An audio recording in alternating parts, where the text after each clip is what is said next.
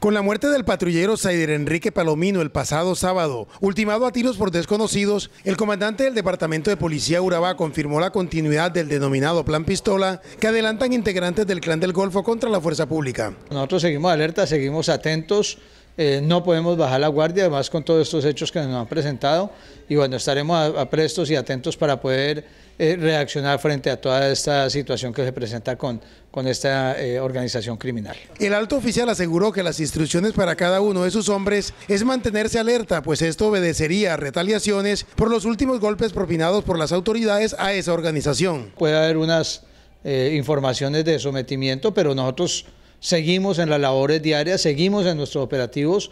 Esa es la tarea de la Policía Nacional y vamos a continuar operando en contra de esta organización criminal que eh, está fuera del margen de la ley. Soler aseguró además que pese a las manifestaciones hechas por alias Otoniel, jefe de esta estructura criminal en cuanto a querer someterse a la justicia, los recientes hechos perpetrados por ellos dicen todo lo contrario. raro sabiendo quién es el que está eh, diciendo estas palabras, una persona que se ha desmovilizado no solamente una vez, sino varias veces, que ha estado en diferentes grupos al margen de la ley.